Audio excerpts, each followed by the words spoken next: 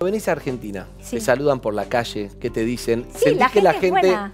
pero No sentís mal, que la gente te buena tira gente. buena onda u otros tienen Sí, pero como igual no, sal- prejuicios? no salí del hotel, estoy en el hotel encerrada. Ajá.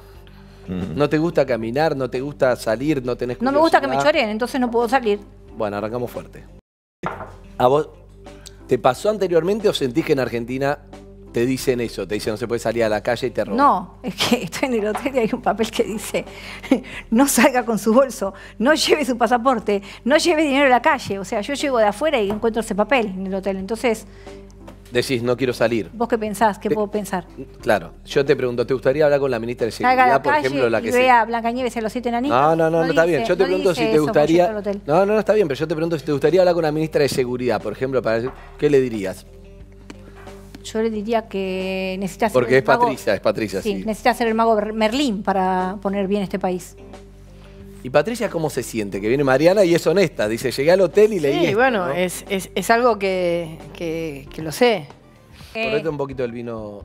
No, la copa, la copa de Noel. Lo que noto, bueno, es eso y también la inflación, creo que más allá de lo que es eh, la suba de los precios, genera una desesperación de no llegar, de no, de no comer, de no de verdad. Entonces, va más allá como lo que decía acá Ok. mi compañero, que va Venía con una curva ascendente y empezó a bajar Ujú. en seguridad. ¿Vos lo ves este país Entonces, seguro? esto, esto no, esto no es exactamente Entonces, así como Mariana está. mira como enojada. ¿Por qué? ¿No, no, no crees que va a pasar? Yo pienso que no pasa por un tema de narcotráfico, ¿sabes por qué pasa? Por un tema de que un país se está cagando de hambre, o sea, la gente no tiene plata para comer. Entonces vos tenés tu, tu hijo, no, no te alcanza, te pagan, no sé cuánto ganas, 5 mil pesos, 10 mil pesos, bueno, ok, y te suben el gas y te suben y no y te estás cagado de frío dentro de tu casa.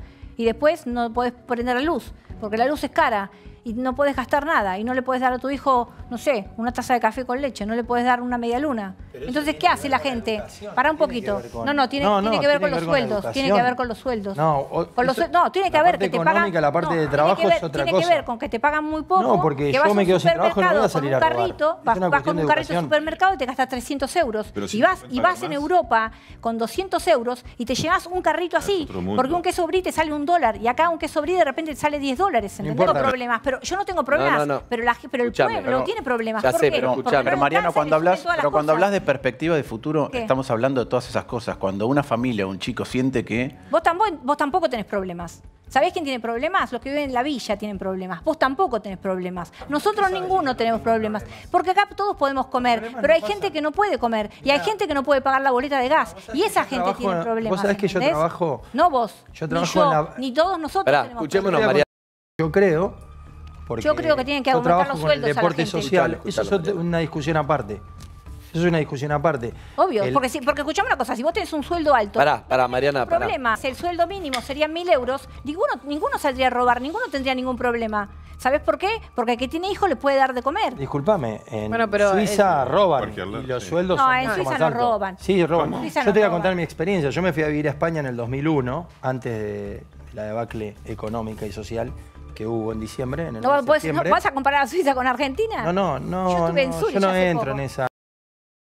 Que no nos me enojo, enojemos, ¿sabes por que qué no me enojo? enojemos. Porque pienso que todos nosotros estamos bien y nosotros no tenemos ningún problema. Nosotros, nosotros estamos Nada que bien. ver Y lo que tratamos de hacer es hablar de temas que le importa a la gente, pero todos los que estamos acá, te lo puedo asegurar, Sí. sabemos lo que está pasando afuera y entendemos y nos ponemos en el lugar del otro. Eso ¿Sabés no que los sueldos decir- son bajos? ¿Mm? ¿Sabés Sabemos que los sueldos son bajos y yo Sí. siempre digo, ¿Sabés para que, que los veas, son muy caros? sabemos absolutamente. Bueno. Yo, yo voy a hablar por mí, qué sé yo, yo voy a hablar por mí porque tampoco es que. Lo que te digo es esto, Mariana. son caros yo acá. sé que nosotros somos Para que no tiene plata son caros. Lo que estamos acá. Lo que te digo es esto. yo no creo en Dios. No, se quedó en. Yo sí creo en Dios. Si no crees en Dios, no crees en Pero nada. escucha, Mariana, ¿Poder? sí. Robo. Voy con Noelia. Poder. Eh, ambición. Querés más, creo. Se quiere mucho más. Da miedo a veces.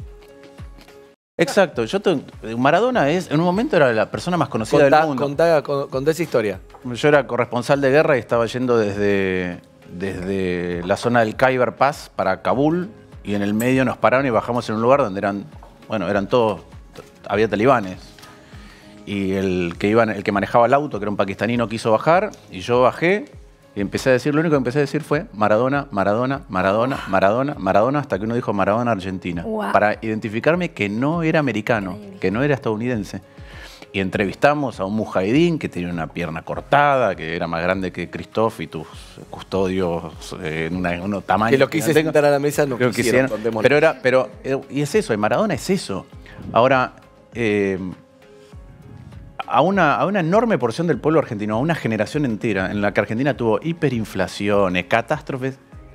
Hay momentos, los- a veces te pones a pensar los únicos momentos de alegría colectiva te los dio Maradona. dio Entonces es- y el corazón que tiene Maradona es un corazón, porque él iba a pelear por los compañeros que, que, como a lo mejor lo tenía Claudio, eh, son tipos que en el deporte son sublimes, eh, son íconos en el mundo, los conoce el mundo. Sí. Como dice Martín, eh, son tipos que no se pueden bajar en un aeropuerto tomar una Coca-Cola en, un- en un- en el bar o a tomar un café, no pueden, no tienen una vida normal. Entonces hay que estar metidos, eh, inmersos en esas personas. Uno dice, no, Federer, mirá Federer, mirá, y bueno, mirá Nadal y mirá al otro. Y, Sí. y bueno, cada uno viene de donde viene, tiene que ver con lo que hablábamos hoy, que decía Mariana, la inseguridad, la educación. Yo creo que Diego, eh, ¿quién habló mal de Doña Tota y de Don Diego? Nadie. El trabajo que hayan hecho ellos Nadie, como nadie. padres de Diego Maradona. Claro. Y Diego es una persona imperfecta, porque es un ser humano. Maradona es el mejor Pará. jugador de fútbol del mundo. Mauricio. Mariana. Cambiemos. Supuestamente tiene que cambiar algo, ¿no? Por eso la gente lo votó. Bien. Entonces, espero que no, no defraude a la gente y que cambie. Ahí está. Esta fue cortita. Esta fue Le cortita. hicimos cortita. Y no es Maradona, ¿eh? No es, Ma- es Maradona. Una mujer luchadora por que nuestro país esté mejor y la quiero. Cariño. Claro. Sí, no, la quiero. La quiero. Aprendí a quererla. En pocas veces que tuve la, la oportunidad de estar con ella, te demuestra que, que es una persona, que es un ser humano, como el caso de, de Diego, que, que a lo mejor uno exige, y la aprendí a querer. Y la palabra es Argentina. Mariana. Pienso que los argentinos tienen un corazón muy grande. Y tienen mucho amor por su país, porque lo quieren. Y no les importa cómo esté, porque lo siguen queriendo. Cada uno cuando tiene un hijo lo cuida y lo protege.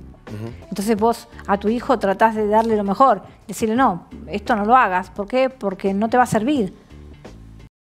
Estás en plena campaña para ser jefa de gobierno de la ciudad de Buenos Aires, tu gran meta, ¿sí?